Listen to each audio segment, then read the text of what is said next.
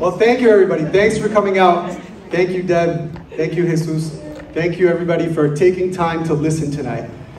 It's very simple. We have a choice to make. What do we want the future of Providence to look like?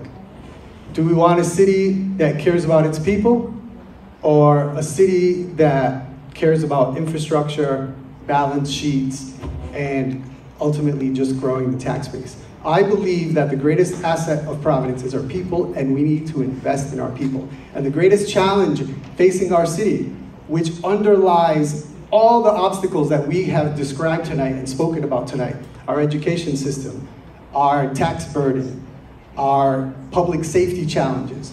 All these issues are underlined by a wealth and opportunity gap that is persistent and pervasive and continues to impact primarily people in low-income communities and people of color across the entire city.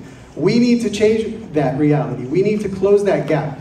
And the only way we're going to close that gap is by investing in our people. We're going to invest in our neighborhoods. We're going to invest in our youth. We're going to invest in our business districts. We're going to make it possible for our communities to grow. Trinity Square is a perfect representation of so many neighborhoods and so many communities across the city and so many business districts that have been neglected for years.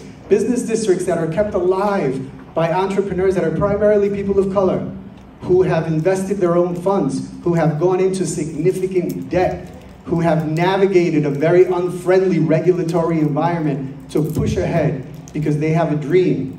We need to provide technical support, we need to provide capital access, and sometimes we need to just get the city out of the way so that more of these businesses can thrive, so that they can create economic development, create jobs, help us expand our tax base, and ultimately help our families prosper so that we can close that wage and opportunity gap that exists. This is how we're going to accomplish homeownership.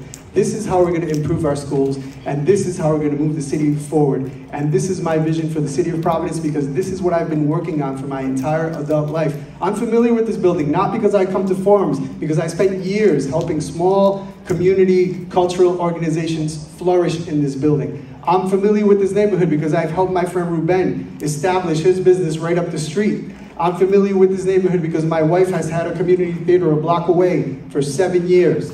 I know this neighborhood well.